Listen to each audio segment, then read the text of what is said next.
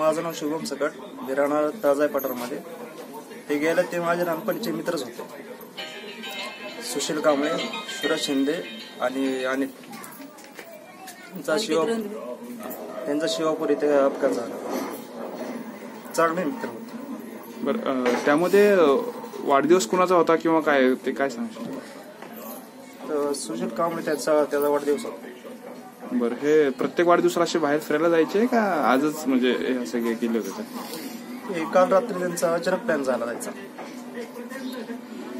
Plan झाल्यावर ते गेले तिकडं. बरं ते कुठं कॉलेजमध्ये आहेत किंवा कुठे जॉबला आहेत असं काय? नाही इथंच होते ते. जॉबला नव्हते.